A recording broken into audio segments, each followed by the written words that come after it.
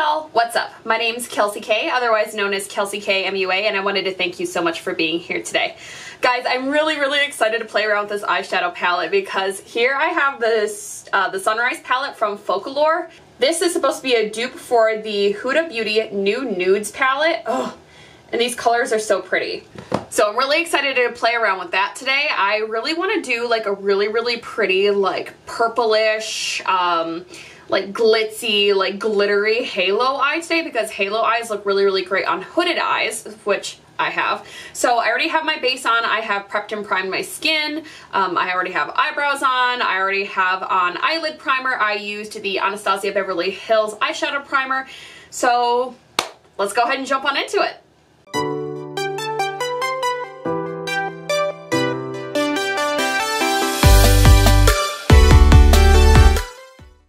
Okay, so we got a little bit closer, but I don't want to zoom in like all the way. I did have a couple people tell me, they're like, yeah, you don't have to zoom in that close in your videos unless you're doing something really detailed. So thank you so much to all of the um, constructive criticism that I've been getting, well not really like criticism, but like all of the fantastic feedback that I have been getting back from my viewers and subscribers. So thank you so much. Um, your feedback really does mean a lot to me. Thank you so much for helping me succeed.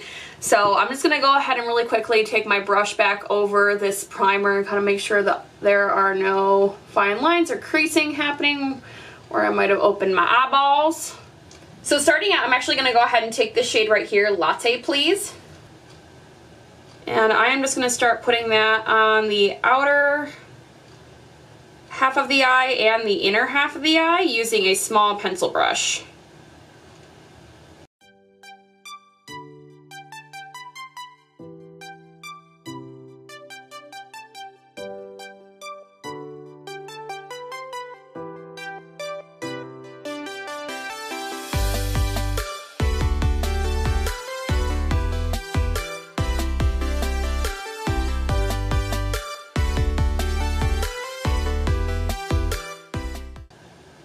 Very, very important part to doing a halo eye is that you do not want to blend these two shades together across the top just yet. If you do want to add a little bit more color and dimension at the top of the crease, you can.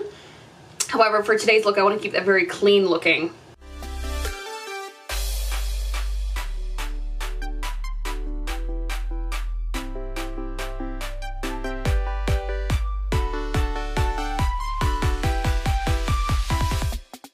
Okay, so next on my finger, I'm gonna go ahead and take this shade right here on my finger, Pop of Copper, this like really, really beautiful shimmer shade. Oh, and I'm gonna pop that right here in the center of the lid. Oh, this is so pretty. I love this shade. Ah, helpful hint, for those of you who do not know, if you're working with a shimmer shade, shimmer shades typically get actually picked up better on your fingertip.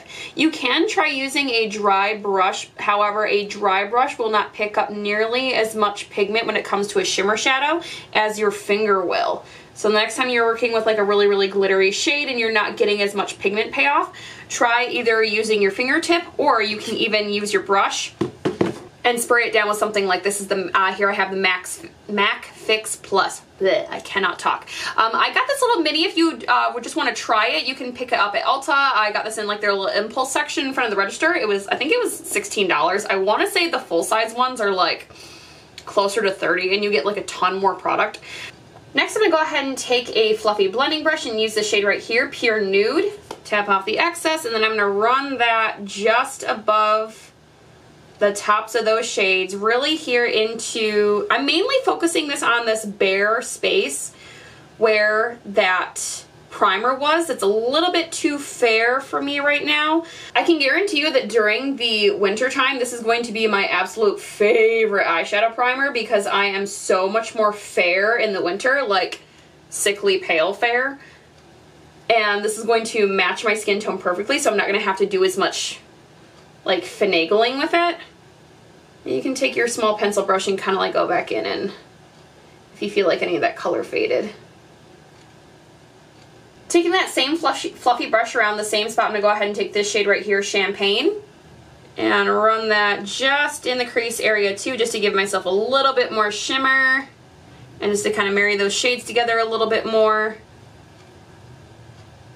And then for the lower lash line, I'm gonna go ahead and take this shade right here, Punch Pink, and then run that very generously through the lower lash line. Yeah.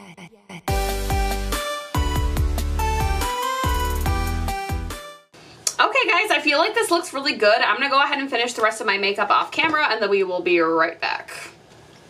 Okay guys, welcome back. So this is how the final look turned out. I'm really excited. I did this really cute like like snatched like cat eye. I didn't film it because I've never tried this before and I didn't know if it would turn out okay, but it did.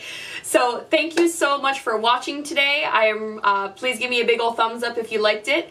Thank you so much. Ooh, and also one more thing, guys. If you, if there's a video that you want to see, please pop it down in the comment section down below. I am going to be checking that.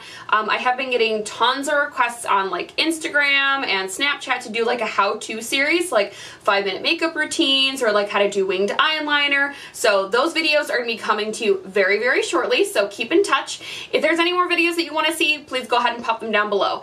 I will be sure to make them and then make them hopefully super entertaining. Thank you so much for watching today, guys. Again, go ahead and like, share, and subscribe to this channel so you guys can see more videos of me doing stuff like this. I will see you guys in the next video. Bye, y'all.